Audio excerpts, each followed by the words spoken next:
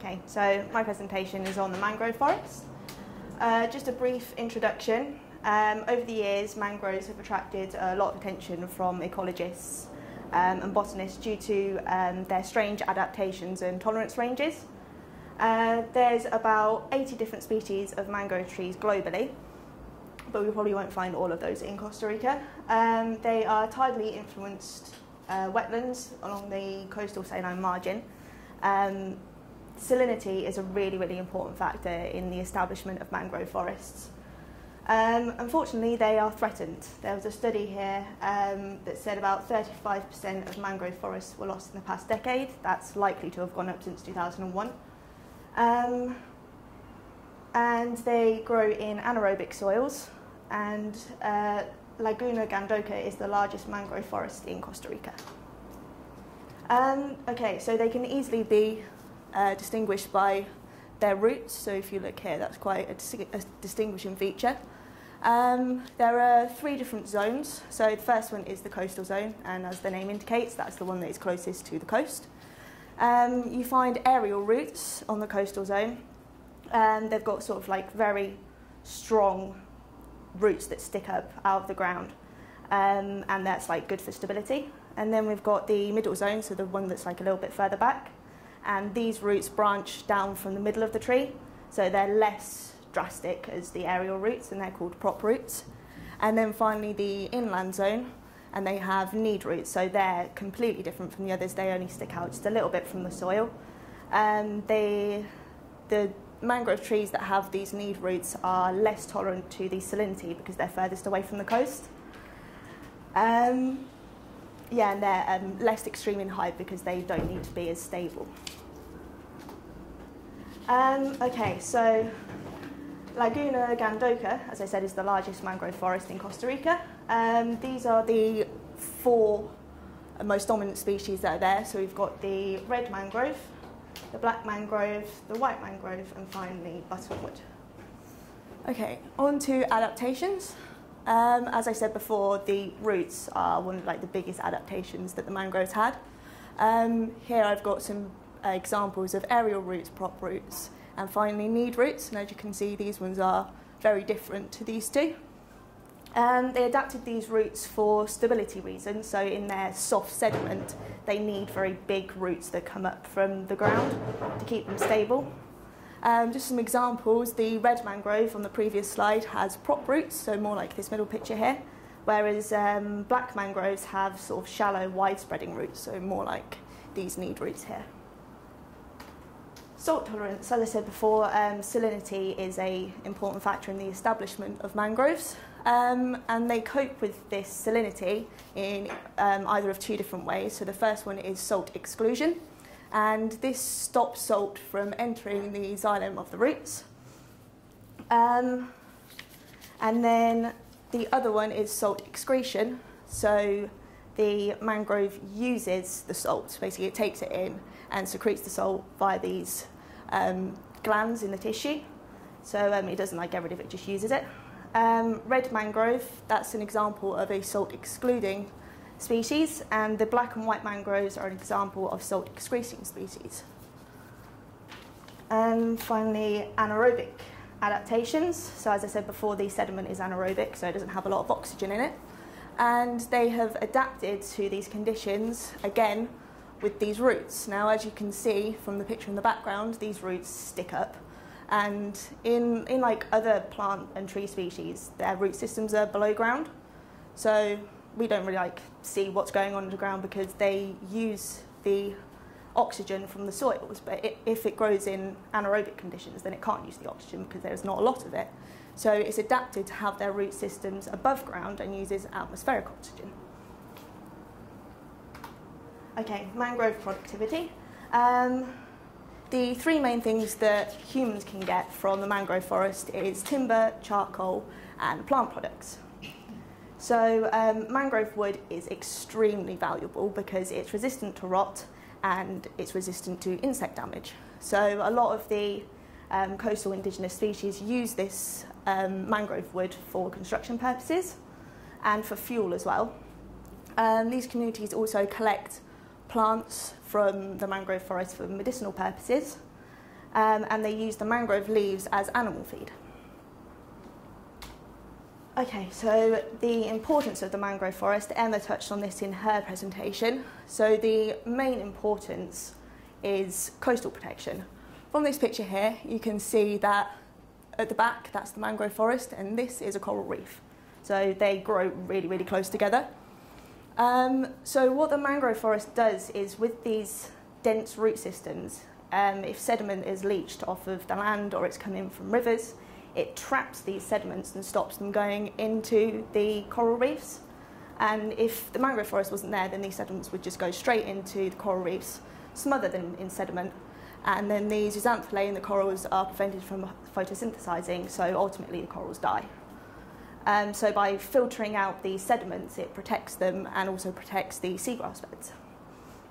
Um, also, the mangrove forests, as they grow like along the side, um, they protect, protect the coastline from erosion from storms and waves.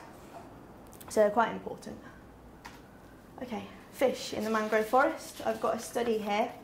Um, unfortunately, it's from the Netherlands.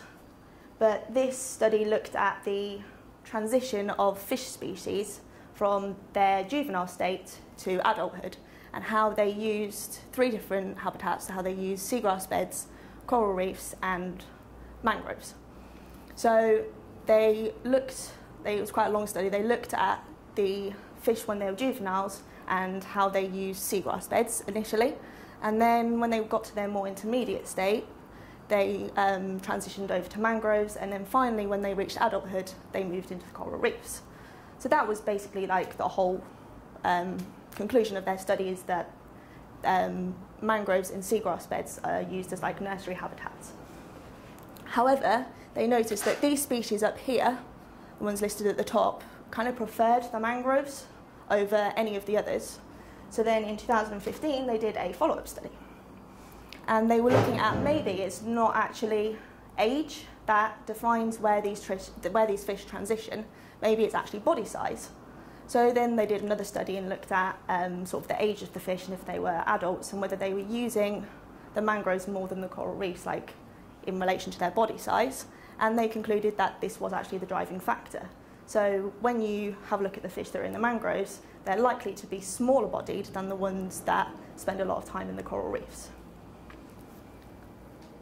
And then there was another study uh, done in the Mesoamerican Reef in the Caribbean.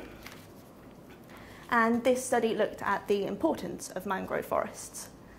Um, they found some amazing results in their study. Um, sh they showed that there are about 25 times more fish in coral reefs where mangrove forests are quite rich than in places where the uh, mangrove forest has been cut down.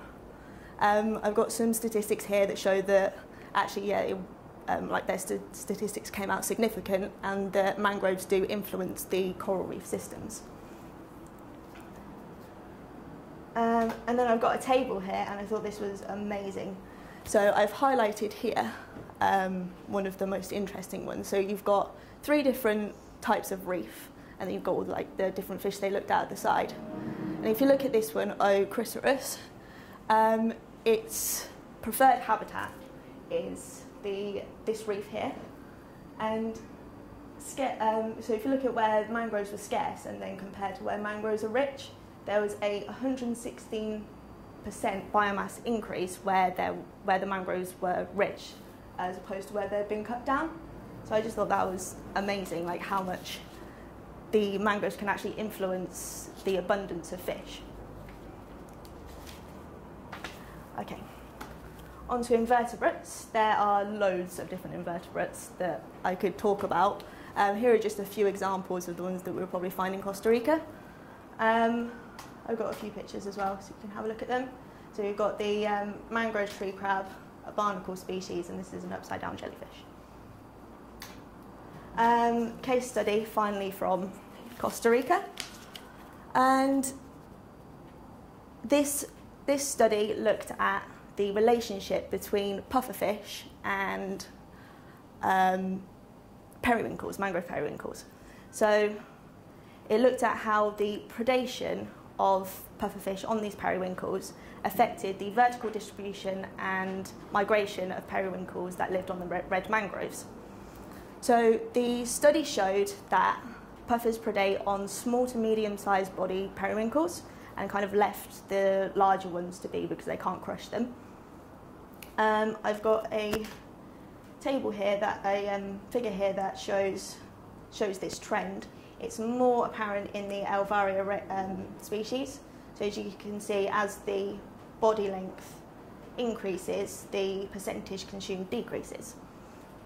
Um, now, it might not seem ever so important, but actually, it kind of is, because um, it shows that what they found in their study is that the um, this predation affects the lower distribution of the periwinkles.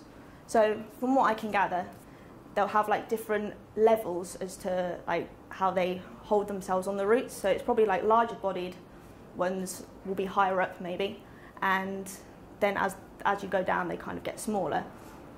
And um, they concluded that um, the pufferfish are the primary predator um, on these two different periwinkle species, so they have a massive influence um, on the population control. And if their predation is affecting the lower vertical distribution, then that kind of has some maybe negative symbiotic relationship, but there was not enough evidence in the study to prove any of their theories. So um, they'll probably do another study or just leave it at that. Um, so finally, just to conclude, these are the points that I covered.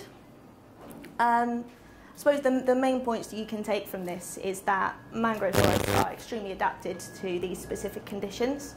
Um, they're a very useful resource to humans and animals alike, and they play a vital, vital role in coral reef protection and they help influence the coral reef systems. Here are my references. Any questions? Thank you.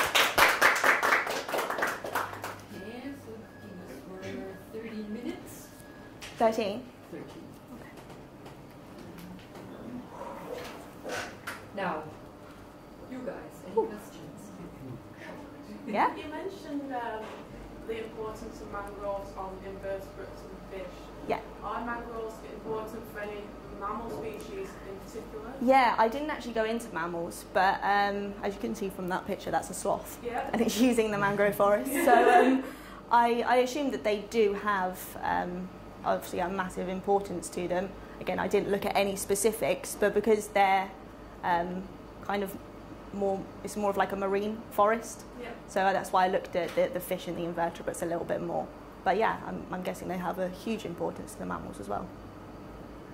Yeah, there are actually um, monkeys living in the mangroves. Yeah. So same species that we see also on, on the northern terrestrial forest. More questions? Do you Yeah. know why the fish prefer the mangroves, like small fish? Um, well, what from that study? yeah. I have no idea. No. Uh, well, well, I think it might be because they provide maybe a little bit more shelter because of the roots. Maybe there's like more places to hide. I don't know. And because you get sort of like loads of different species in the coral reef, it's so diverse. Maybe they feel a little bit threatened being there, being so small. Yeah. Is probably what I can I can get from that. Yeah, I've got a question about that too. So obviously in the coral reef you also have very small fish. Yeah. So, but um, the these these fish that stay there in the mangroves, then um, are these also uh, fish that are consumed by humans or not? Um, I don't know actually. I know that um, mangroves are important for commercial fishing. They are good for like fisheries, but um, I don't know if those specific. So it didn't Fish. say the, It didn't say if they were consumed by humans, no. No. Okay. Um, so why would you think why why you mentioned some stuff, but why would they really stay there? Um, yeah. So so why would the fish so stay there? Um, even as they, what, what is the impact of the mangrove there, other than protection, maybe? Um, I'm not really sure. Maybe. I don't know. I, I, yeah, I have no idea. Maybe it's about the food that they have. yeah. It could be maybe the the invertebrates that live there. Maybe that's they've got sort of like relationships with those. I have no idea. And again, the only thing that sort of cropped up was protection. Mhm. And what would you say is the difference, or is there a difference in, in the water quality, um, Well, I, mangroves to I suppose it'll be like in mangroves, it will be like full of sediment and it will be probably a little bit cloudier, which I don't know why that would be more beneficial to fish. Because like obviously because the mangroves stop the sediment going into the coral reefs, the coral reefs are quite clear. But I don't I don't know why that would be more beneficial to. What don't do know you with think about wave Maybe- mangroves compared to coral reefs? Um, like I said, I, they kind of like the mangroves stop the waves, don't they? So From, like, the water corroding. then? What would you think? I'm guessing the water would be calmer in the coral reefs. Maybe. Maybe not. I don't know. If you look at the picture behind you, uh-huh. What? This Yeah, one? Yeah, the background yeah, Does that look like? It it looks quite or- still, doesn't it? yeah. Yeah. Yeah, okay, yeah, maybe. Um, yeah, I suppose it probably would be quite still in a mangrove. I Okay, so that could be maybe Yeah. a thing. Um, yeah, another quick question there about the other study with the periwinkles. Yeah. Um, there were no standard error bars or anything like that on the graph. Yeah, I don't know. There wasn't, was there? Ah, okay. No. What what uh, journal was it? Um, let me find it. Um,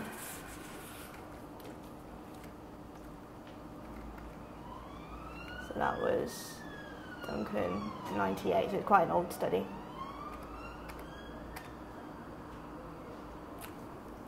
The second one down. Oh, it's not so old. No. The stats should be perfect at that time.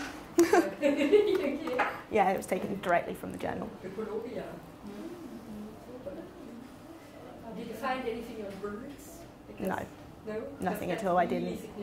Yeah. birds and their species. no, I didn't look at birds at Oh, all. yeah, okay, so Yeah. look at it, yeah. Yeah, I have one question. Um, you talked about the different methods that the mangrove trees use to cope with the salt in their Yeah. environment. Um, the two different methods. Yeah. Is there a link with what method they use and whereabouts you find them in terms of those? Um, Well, it said that the red mangrove uses the salt exclusion, uh, so that gets rid of the salt, and the red mangroves are kind of in the more intermediate stage. They're like in the, they're not right by the reef, but they're kind of in the middle bit. And then the other ones, the black mangrove and the white mangrove, used the salt. The other one, the salt excretion, um, and I think they're found further away, but where the the salt. So that I think they're found more inland, but the salinity in the soils is less, more inland. So I'm guessing that creates a balance for them to. So if like I don't know if I'm explaining this very well. The red mangroves probably have more salt in their sediment, like in their soils, so they need to get rid of it. Whereas the other mangroves, like the black and the white mangrove, don't have as much, so they use it. Does that make sense? That brings me on to another question. Yeah, You say the red mangroves are in the middly area. I the black think and the white are more in inland. Yeah, What's at the coast? What's the one that's I don't know. If you come from from uh, the ocean, Yeah, and what is the first mangrove that you hit there? I don't know. It might, it might be red mangroves. I'm not sure. Yes. Yeah. Yeah. Because it said that they have prop roots, but when I was looking a little bit more, some of them had aerial roots as well. So I don't know whether it's kind of like a bit of a mix. So I don't know. So, do you think they are under impact of uh, the tide? They're under impact from the tides. Yeah, of the tide. The red mangroves, or just Yeah, in general, in general, all of yes. them. Yeah, Yeah. yeah, I think so because they kind of they act like a barrier, don't they? Is that what you're saying? Yeah. Is that yeah, is that that's fine. is that the answer? I don't know. yeah, yeah. yeah. I was just checking. Good. Any more questions? No?